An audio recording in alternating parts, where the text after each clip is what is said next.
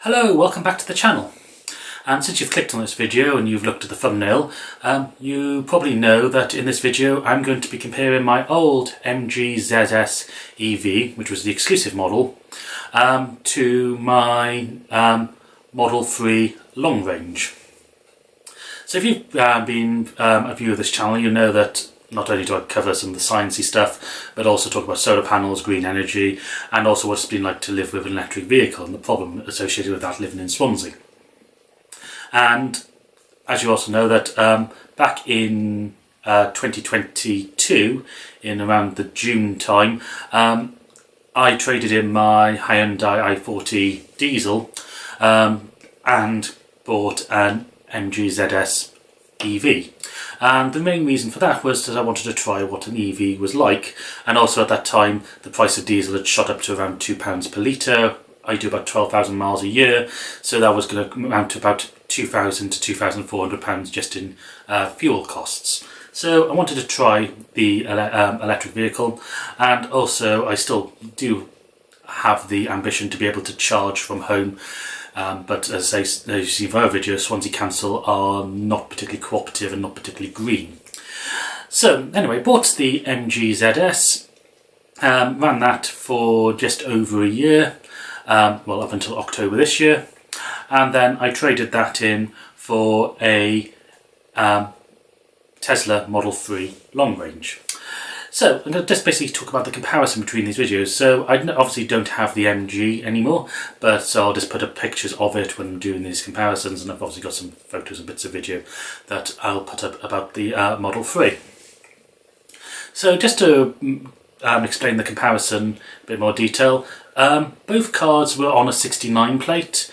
Um, the actual Model 3 is slightly older. That was registered in November 2019, while the MG was registered in February 2020. When I bought the MG in 2022, it had um, 8,500 miles on the clock. When I bought the um, Model 3 eight weeks ago, and it was exactly eight weeks ago, it was on the 13th of October, maybe that's nine weeks ago. Um, on the 13th of October when I bought it, it had 30,002 miles on it. And on that same day, when I tra obviously traded in the MG, it had about 23 and a half thousand miles on it. So the comparison is actually reasonably good for, for comparing age of car and also mileage as well. So let's uh, get off uh, with the obvious uh, difference is the price of the cars. So when I bought that MG a couple of years ago, paid, or last year, it cost about 20000 um, When I parked access, I got about 13000 for it. And um, I think the company, which was Powerlease, that bought it off me and also sold me the Model 3, which is in, Bed, uh, in Ampthill in Bedfordshire, uh, they sold it for about 14,300-ish, I think, just looking at their website and what the price of the car was um, when they advertised it. So, and the Model 3 long range I paid about 25,000 for. Um, the price of those has actually come down a little bit now, so you can now get them for about 24,000. I should say it was for the mileage and condition, it was probably the cheapest I could find in the UK. There were still there was um, dealers in Swansea which had similar cars for about uh, four thousand pounds more than what I paid. So that's just to give an indication. Um, so the price of the Model 3 is obviously a lot more than the MG, which is what you expect. The MG is targeting, or MG is targeting um, lower cost EVs and with their MG4, MG5 and the ZS, they are still amongst the cheapest new electrical electric vehicles to buy on the market. While Tesla is more of a luxury brand and therefore charges uh, a bit more, even though compared to other EVs they're still comparatively cheap I believe. okay, um, so another elephant in the room um, which a lot of people are discussing online is insurance. So when I bought the MG in 2022 and insured it, it was actually comparable insurance to the Hyundai. It was about £280 for the year. Um, and when I renewed the insurance a year later, it had gone up to about 325 I think. When I tried, um, when I bought the Tesla, I redid a quote from the MG, and it was now coming out at um, 450 pounds. And I, uh, for the quotes, I used compare the market and also the Quidco uh, comparison uh, website as well. The Quidco is a cashback website. I'll put my link down below in case you are interested in that. But they've got a comparison fin for insurance, and they also give you cash back on that. So um, it's about fifty pounds they give you if you use their um, comparison service, um, which is what I actually going for. So it's about it would have worked out about uh, four hundred pounds with that cash back on the MG. Um, the Tesla uh, came out about 650 with that uh, cashback. So it's half as much again. But as you see, the prices of insurance has gone up um, a lot. So there is reasons for the difference in price between the MG and the Tesla. As I said, Tesla is considered a luxury brand. It's a much faster car, so to crash in it, it goes up. And also, um, sorry, um, so not only is faster and also a luxury car, it's also worth more to begin with. So that's going to uh, hike the premium a little bit. Um, so that's the insurance and the overall cost. The um, let's talk about the driving experience. Both are electric cars, both accelerate really quickly. The Tesla has a faster top end, but that doesn't really matter because we're limited to 70 miles an hour in the UK. Um, What I have found is that the Tesla is more refined at those higher speeds at above sort of 60 miles an hour. So if you're sitting on a motorway, the Tesla feels a bit more planted. Um, again, that's probably to do with the shape because the uh, MG was an SUV while the Tesla is an Air, um, Airstream saloon. And that probably leads us nicely on to efficiency. So over the course of the year with the MG, or the time I had with the MG, it averaged 3.9 miles per kilowatt hour, which is pretty good. Um, and that's a mixture of driving on 30 mile an hour roads in the in Wales and also motorway driving as well. I should say when I was motorway driving, I did spend a lot of time at about 60 miles an hour and I found that's where the efficiency started to drop off massively after that, or just slipstreaming behind lorries. Um, in the winter, the MG did drop massively in efficiency. So when it was cold, wet, dark, um, windy in particular, the efficiency of the MG did drop down to about 3 miles per kilowatt hour. But in the summer, um, with a good tailwind in hot weather, it was doing about 4.5 on good journeys, and that was on motorways as well. So it had a big range of its efficiencies. What I found with the Tesla over the past couple of months of owning it is that the efficiency is actually roughly the same. It's about 4 miles per kilowatt hour. But what I have found is that on the motorways I've been driving it faster. I've been taking it up to the 70 mile an hour speed limit and I haven't been slipstreaming lorries. So if I was to drive it in the same manner as with the MG, it'd probably have a higher efficiency. Um, with the colder weather, we haven't had a particularly cold winter so far. There have been some days, um, and the Tesla efficiency has dropped, but it hasn't dropped as much as the MG did. Um, I should also point out that the Tesla doesn't have the heat pump, it's the pre-heat pump version. If I had that, you could pre-warm the battery and everything, and it'd be more efficient to warm the battery, and then the efficiency of the car would be up as well. Um, one of the reasons why we bought the MG ZS over something else um, was the boot space. So um, with the Tango stuff that we run, we quite often have to drive with speakers, amps, cut, um, or the crockery, or the lighting, all the stuff we need for a Tango event in the boot. Um, the MG had a reasonable sized boot. It could fit the two speakers in it, and then we had to use the back seats a lot to cram everything else in, and it was really piled high. What I was found surprising, and one of the reasons why it took us a long time to look at um, the Tesla was because we didn't realise how spacious it was on the inside. So the boot, not only do you have the flat bit of the boot, there's also a space underneath which we find we can store a lot of other stuff in for Tango events. And the boot is big enough to get not only the speakers in, but also the amps, lights and other things. And then we still have the back seats free to uh, load more in. So as far as um, space is concerned, I think the Tesla is actually better than the MG for us. Uh, one thing the MG did have was a parcel shelf, which was useful for putting stuff on.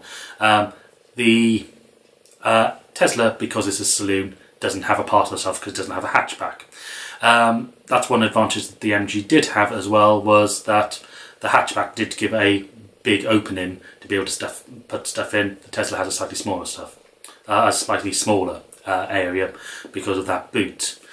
I should say I also cycle as well, so I quite often put bikes in and out of cars. Um, the MG was far easier to put a bike in the car, although because of the shorter wheelbase meant that um, I did have to still take the front wheel off. Um, while the Tesla, the actual bike just slides in, but again you have to be careful with the boot opening. Okay, uh, another thing that people come up with with Teslas is the build quality. And oddly enough, people also criticise the MGs for build quality uh, based on past MG experience. Um, I would say the build quality in the MG was superior. Like uh, when you close the door, you can get a more reassuring clunk from it. Looking at the lining inside the boot, the Tesla one looks very thin and is sort of roughly cut and just stuck onto the side. You can see this from the images here. The MG felt like a more complete product in that way. Um, so, and also just looking at like the quality of the seals around the doors, like the Tesla um, doesn't have a frame around the windows. The windows sit straight up against a seal. And yeah, just looking at that seal, it doesn't look like it's fitted as well as on other cars I've had, and in particular the MG. So I think there's still work for Tesla to do on improving the um, quality of their product over over time and their finishing of their product. Um, let's talk about things if things go wrong with the um, the cars. So uh, the MG came with a seven-year warranty, so it's still got three years left on this warranty. The Tesla only has four years on its warranty, uh, or comes with a four-year warranty, which has just come to an end. But they've both got reasonable warranties on that.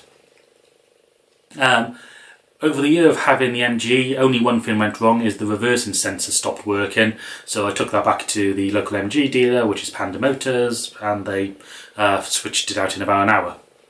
Um, the Tesla, you do a lot, if you want to have it serviced, you can go to other garages if there's stuff that they can fix, but normally you have to do it through the app and then take it along to a Tesla service centre, and the closest one is in Cardiff and they do things there. So there was some warranty stuff that I needed done on the Tesla. First of all, there was water or condensation in the back rear light, which is from water droplets. Again, this is a design fault with Tesla because they don't have sealed units.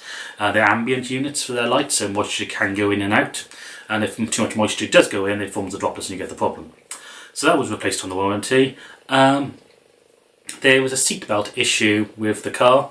Um, so where the driver's seatbelt was, I think whoever had the car before had sat with the seat in the wrong position compared to the height of the seatbelt and it cut into the trim, which is then called the seatbelt fray. Because that's a safety fin, it's covered by the warranty. So they replaced that bit of trim and the seatbelt for me uh, when I went in for that warranty work. Um, I should also say that the door panel on that side, so where the seatbelt actually meets the central pillar, um, that was loose when I first had it as well and would rattle off. You had to keep elbowing it to secure it back in and then over time it would work loose again. Um, it looks like they fixed that as well when it went in for the warranty. Um, the other problem I had with the Tesla was in the passenger seat. The passenger seat is all electric controlled um, and the switch or the lever to make it move forward and up and down had been snapped off. Um, so it needed a new switch and Tesla included that on the warranty as well, which was good. So I was expecting to have to pay for that because I expect that was damage done by the previous owner. Sorry for the cough. Um, right, so that's um, the sort of build quality and the servicing of, of the car. Um, I should say that the MG does require servicing every year, so I had to take it along to a local garage to be serviced, which cost about £140. Um, that included the usual thing of um, filters and that sort of thing, and also doing a diagnostic on it. The Tesla doesn't have a service schedule. Um, if something goes wrong, they tell you on the screen or on your phone, and then you book it in for service from there. Obviously, we'll still need MOT in. Um, so to now talk about the uh, reasons why we bo uh, bought the Tesla, and it was basically battery size.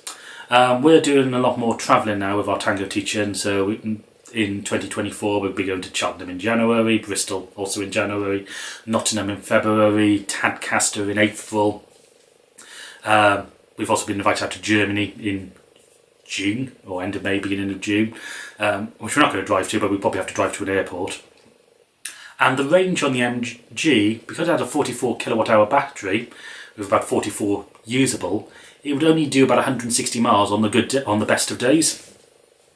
Uh, which meant that if you were driving back and forth, to Bristol, which is 155 miles from here, there and back, and there's some just over 77 miles there, but you, can see that we would have to stop to charge, and that would be quite frustrating about one in the morning.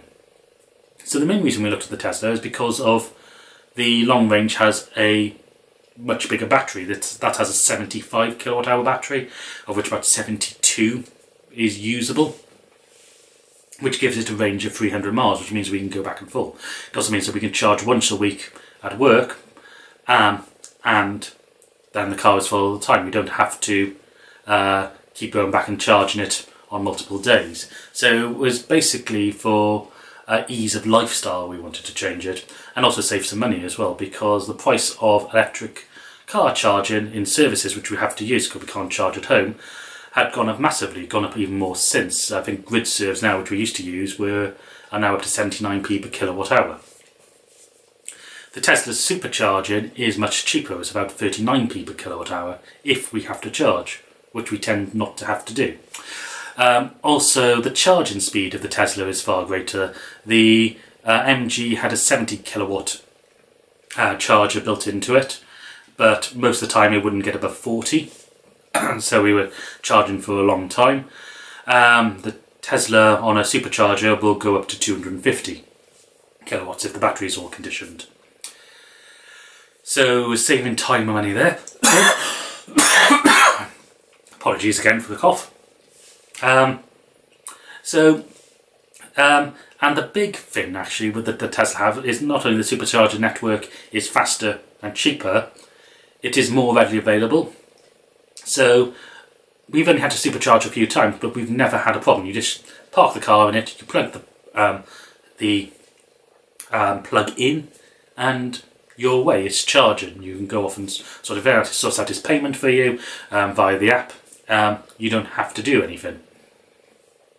With the MG, we were always worried we were going to show up at a place we wanted to charge, and either the chargers were all completely full, or also broken. That was one of the main issues we had.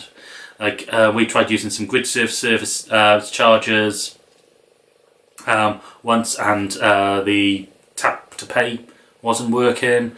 Uh, when we went to Hampton Court last year, we were trying to drive back, stopped off some GridServe chargers there car just wouldn't charge. I'm not sure if that was a car issue or the charger issue, network, but we couldn't charge, we had to stay overnight in a travel lodge on a slow charge overnight. So that is what the main benefit of Tesla is, is there that's again why we went for the Tesla over something else which would be a similar price and a similar range, something like a Hyundai Kona, although that does have a smaller boot, but you get the idea that the Tesla the selling point of the Tesla is that charging network. It's just frankly brilliant compared to using things like GridServes, Ionity, and all that. Um, so the last thing I suppose is the software. Um, this is where the MG I think has a benefit over the Tesla. Um, the MG could use Android Auto, even though it was the plug-in variety, which meant that you could get all your messages coming up on screen. You could program Google Maps and all that sort of stuff, and it worked purely off your phone. The Tesla has its own built-in system, which does use Google Maps, um, and you can obviously Bluetooth your phone to it, but it doesn't seem to be as good as inter interface as it does with just Android Auto. Anyway, so I think that's uh, me waffling on enough. Um, so I think we made the right decision by going for the Tesla over it. We are certainly enjoying having it, but we enjoyed having the MG as well. both cars have saved us money as far as um, fuel is concerned, and both are work and both worked for us. Um, although the Tesla, I say, is working better for us. Anyway, if you like this video, please hit the um, subscribe button, and I'll see you in another video very soon.